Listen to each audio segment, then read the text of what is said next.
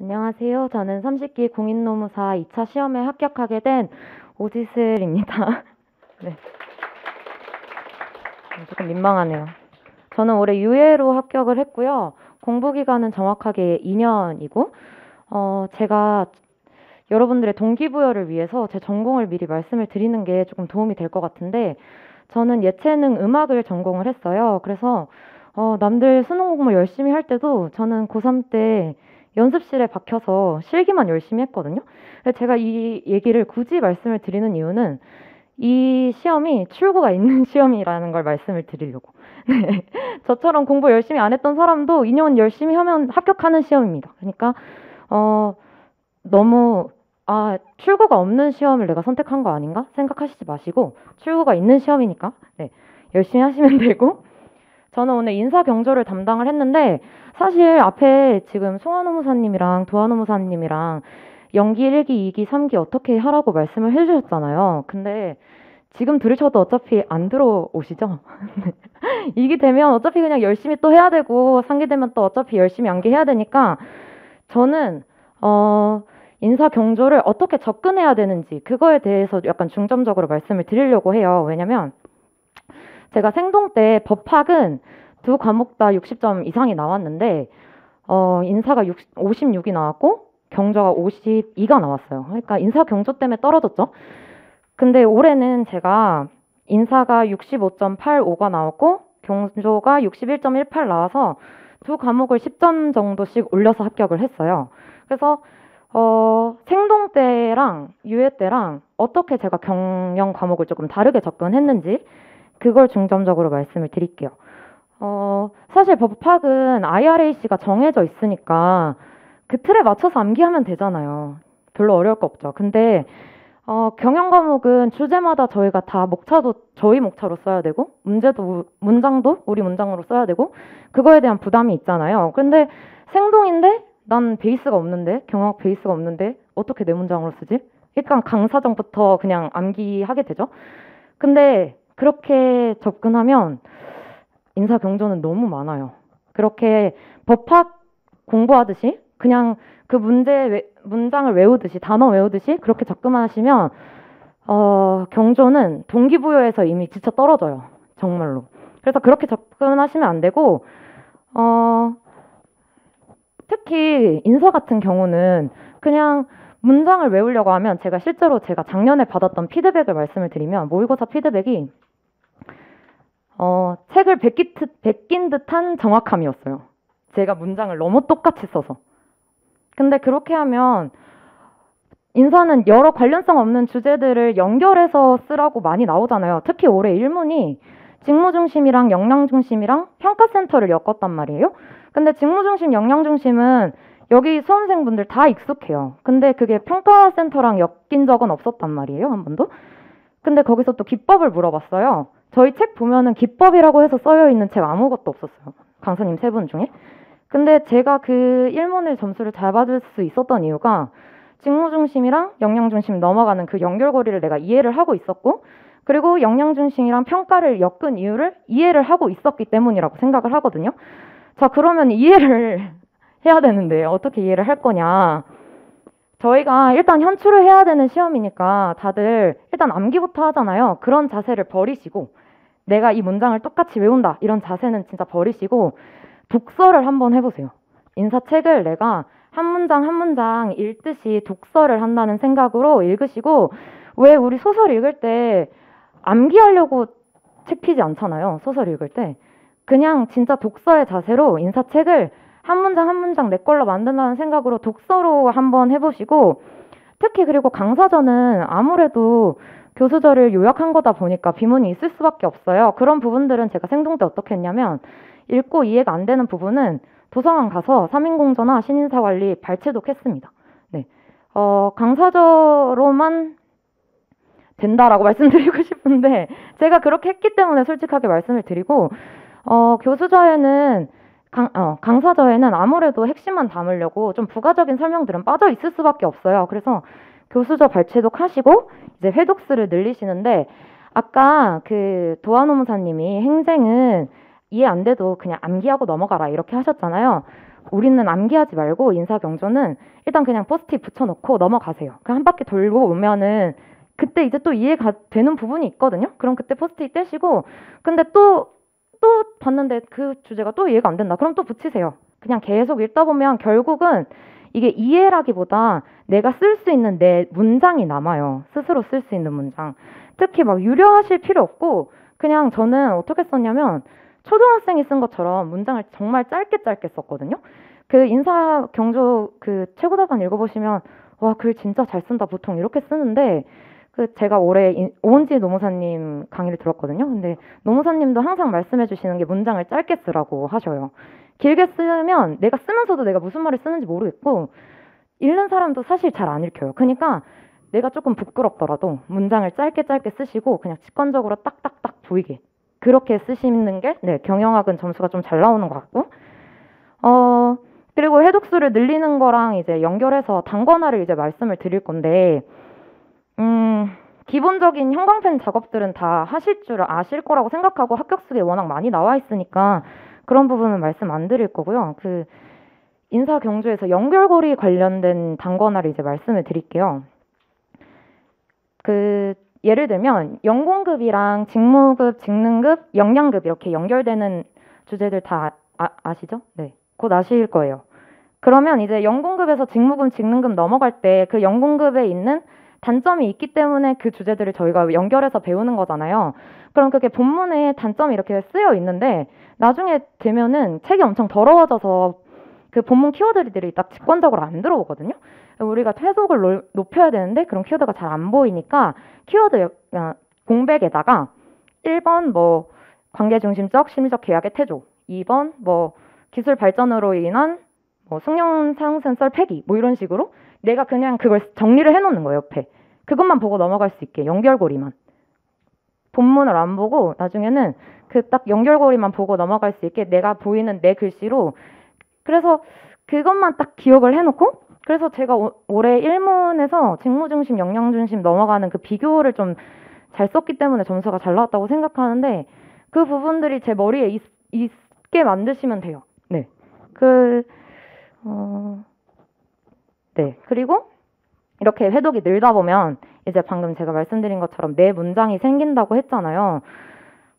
정말 잘 쓰실 필요 없고 그냥 진짜 초등학생처럼 쓰셔도 되고 이제 거기다가 내 문장에다가 이제 진짜 주제마다 들어가야 되는 핵심 키워드들 그런 거를 단어장 같은 거를 저는 만들어서 들고 다녔어요. 계속. 그 약간 내 머릿속에 내 눈 속에 둥둥둥둥 떠다닐 수 있게 약간 범용적으로 활용할 수 있는 키워드들을 가지고 어 이런 주제가 나와도 저기 있는 키워드지만 내가 그냥 갖다 쓸 수 있게. 네. 그러면 조금 있어 보이거든요, 문장이. 네. 그래서 어 그런 키워드들이랑 그리고 또 제가 따로 정리한 거는 약간 올해 트렌드에 맞는 교수님들이 좋아할 것 같은 간지나는 단어들 있잖아요. 네. 그런 것도 따로 정리했어요. 그런 거는 뭐 어디서 정리를 했냐고 물어보시면 올해 은지쌤이 이제 논문이랑 기사랑 논평 같은 것도 발췌를 해주셨거든요. 이제 거기서 또 뭐가 키워드인지도 또 체크를 해주세요. 저는 그래서 그걸 마지막에 다 정리해서 올해 뭐 그때 은지쌤 비정규직 모의고사였어요. 근데 올해는 직무중심, 역량중심 전혀 상관없잖아요. 근데 거기 나온 키워드들, 어, 이거 써먹으면 좀 괜찮겠다 싶은 것들 올해 다 썼어요. 네. 점수 잘 나온 것 같고. 나중에, 어, 그러니까 내 문장이 생기면 나중에 키워드랑 교수님이 좋아할 것 같은 단어들, 그런 거는 추가하시면 된다라는 말씀이고, 제가 계속 해독을 늘려라, 해독을 늘려라 이렇게 말씀드리고 있잖아요. 그러려면 책이 두꺼우면 안 돼요. 책, 나중에, 저, 뭐 이런 말 하면 좀 그렇긴 한데 같이 공부했던 불합격한 친구들 책이 너무 두꺼워요. 뭘 너무, 뭘 너무 많이 껴놔가지고 그러면은 나중에 내가 뭘 봐야 될지 몰라요. 저는 그 진짜 아 이거는 별로 안 중요하다 찢어서 버렸어요 책. 진짜 얇거든요 제 책 보면 쟁노도 그렇고 다독이도 그렇고 책이 진짜 얇아요. 그래서 책을 군더더기 없이 깔끔하게 만든다고 생각하세요. 미친 듯이 볼 수 있게. 전날 1회독 해야 되잖아요. 그러니까 추가 추가 추가하지 마시고 아 나 이거 챙겨야지 단어 챙겨야지 그거 챙겨하셨으면 책에 옮기고 버리세요 다. 네 그렇게 해서 음 자꾸 제가 은지쌤 얘기를 하게 되는데 어쩔 수 없어요. 저는 올해 은지쌤을 듣고 합격을 했기 때문에 은지쌤 책이 되게 얇거든요 다독이가. 거기다가 이제 뭐 sub, sub note도 아니에요. 본문도 되게 충실하게 되어 있는데 저는 다독이로 단권을 했고 그러니까 책을 좀 군더더기 없이 깔끔하게 만드시는 연습을 하세요. 단권화는 자료 추가가 아니라 없애는 작업이라고 생각을 하셔야 돼요. 그리고 이제 뭐 이해와 해독에 대한 얘기를 했으니까 모의고사에 대한 얘기를 말씀을 드릴 건데 어 저는 일기 때 전년도 모의고사 문제를 체크를 했어요. 지금 하셔야 돼요. 네. 왜냐면 저는 어, 모의고사가 조금 중요하다고 생각하는 편이거든요. 등수를 떠나서 모의고사를 잘 보는 게 공부에 도움이 되는 것 같아요. 왜냐면 일단 저희가 상기까지 버텨서 끌고 가야 되고, 근데 맨날 학원에서 하위권 하고 있으면 아, 나안 되겠다 이 생각이 안 들 수가 없어요. 저는 네 과목 다 최고 답안을 해봤거든요. 계속 그냥 내가 여기서 무조건 1등 한다 생각으로 하시는 게 도움이 되지 않나. 저는 그랬어요. 네. 그러니까 그냥 잘 보라는 뜻이 어, 무조건 1등 하셔라 이런 말이 아니라 공부한 거를 내가 다 쏟아낼 수 있었고 이번 주 이거 외운 거 그래도 나 후회 없이 썼다. 나 그래도 분량 안에 썼다. 이 이거는 하실 수 있게. 근데 그거 이기부터 하시려면 어, 이기부터 하시면 늦어요. 지금부터 하셔야 돼요. 그러니까 전년도 모의고사 문제들을 다 구하셔서 강사 최고 답안이랑 아, 강사 답안이랑 최고 답안 보셔서 인사 경조는 특히 책에 없는 거를 물어보는 문제들이 많잖아요. 어, 어떤 거를 물어보는지 다 체크하시고 그 연결고리도 다 체크를 해 놓으세요. 네. 그래서 좀 지금부터 하시는 게 맞아요. 일기 강의 들으시고 복습하시고 시간 남으니까 그때 작년도 모의고사 네. 구해서 조금 어, 어 이런 주제에서는 아, 이런 걸 물어보는구나. 그럼 내가 이 주제는 이런 식으로 읽어야겠다. 이걸 좀 아실 수 있게. 네. 그래서 또 뭐 모의고사 잘 보라고 하긴 했는데 사실 등수에 연연, 연연하지 마세요. 다들 하는 말이긴 한데 저는 연연했어요. 저는 못 보면 좌절했고 1등 못하면 짜증나고 네 저 막 아 나 잘한 것 같은데 왜 최고 답안 안, 안 뽑혔지 해서 수진쌤한테 가서 저왜 어, 이번 주 최고 답안 아니에요? 하면서 그러고 그랬는데 어 그냥 공부한 거 다 쏟아낸다는 생각으로 2, 3기 때는 그냥 잠 줄이시고 열심히 하는 수밖에 없어요. 2, 3기 때 뭐 아, 다들 열심히 하는데 네. 네, 열심히 연기하시고 어 경조를 조금 더 추가적으로 얘기를 말씀드릴게요. 조금 시간이 남은 것 같아서 지금까지는 약간 경영 과목에 대한 약간 일반적인 말씀을 드렸다면 경조는 무한 암기입니다. 네, 무한 암기고 어쩔 수가 없고 조금 암기의 양을 줄이시려면 목차를 조금 통일을 하세요. 우리가 다 아는 것처럼 로마자 1번 의 중요성, 2번 뭐 이론 학자 뭐 그림 뭐 이렇게 그리고 3번 문제에서 물어보는 문제에 대한 해결 방안. 그래서 의의는 책에 나와 있는 거 외우셔야죠. 뭐 성격 의의 우리 어떻게 써요? 학자가 쓴 거 써야 되니까 외우시고 중요성은 그 책에 보면은 막 다섯 가지 엄청 길게 나와 있잖아요. 그거 다 외우실 필요 절대 없고 의 중요성은 딱 한 세 줄 정도밖에 안 써요. 이상기 되면. 그러니까 내가 그 정도로 쓸 수 있을 정도로 미리 축약을 지금 해놓으세요. 그래야 한 문장만 계속 계속 봐야 익숙하거든요. 그러니까 축약해 놓으시고 이론은 어쩔 수 없이 그냥 계속 암기하시고 아 그리고 그림에 대한 얘기를 드릴 건데 올해 제가 이제 동기들 모임 가서 만나 보면은 인사랑 경조랑 고득점한 친구들이 대부분 그림을 많이 그렸대요. 세 개 이상 그렸다고 하더라고요. 올해 3문이 직 장 내 괴롭힘이었어요. 그래서 사실, 사실 그림 그릴 게 없었는데 그럼 1문, 2문에서 그림을 세개 이상 그렸다는 거잖아요. 그만큼 마음의 여유도 또 있었다는 거겠죠? 그러면 그 그림도 지금부터 하셔야 돼요. 네, 이기 때부터 하면 늦고요. 그 내가 책에 있는 그림 똑같이 그릴 필요 없으니까 조금 조금 내가 그리기 쉽게 네, 좀 바꿔 놓으세요. 책에 있는 거 똑같이 그릴 필요 없거든요. 저도 그 책에 있는 그림, 아, 이건 절대 못 그리겠다 싶은 거는 그냥 아예 제가 종이로 잘라서 제 그림 붙여놨었어요. 계속 익숙해지려고. 네. 그리고 3번에서 이제 해결 방안 쓰는 건데, 지금 경조가 점점 시험이 어려워지고 있잖아요. 그래서 이 부분이 이제 조금 중요해졌어요. 암기는 다들 다 외우고 오니까.